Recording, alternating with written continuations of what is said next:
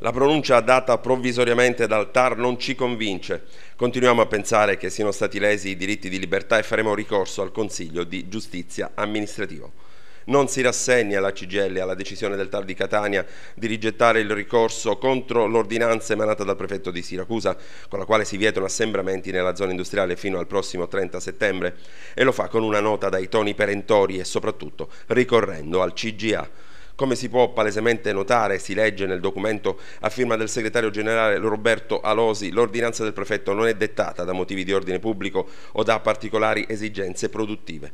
Piuttosto, quell'ordinanza nasce in virtù di pressioni politiche che calpestano i principi più elementari del diritto di sciopero, della libertà di riunione e dei principi costituzionali.